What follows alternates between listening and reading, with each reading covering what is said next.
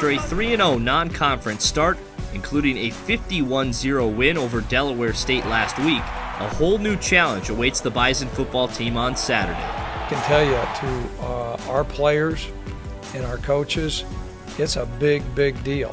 The Dakota marker is on the line as the Bison open Missouri Valley play on the road against South Dakota State. Anytime you get two very good football teams who are pretty close to each other and have similar styles, naturally they're going to butt heads and rivalries are going to form. If there's one game that you want to win within the season and uh, you know, happen to lose all the rest of them, this is the one game that you want to win. These two teams met twice in under a month last season, resulting in two Bison wins. We've played each other so many times. Um, you know, coaches know each other. Uh, a lot of the same guys cross path in recruiting.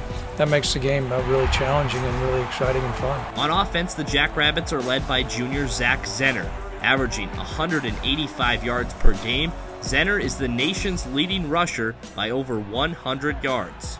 Hard for me to see him gaining 185 yards and us winning the game. Oh, he's big, he's fast really got to hit him from the front. And the way we do that is everybody has to have their gap and they have to stay in it.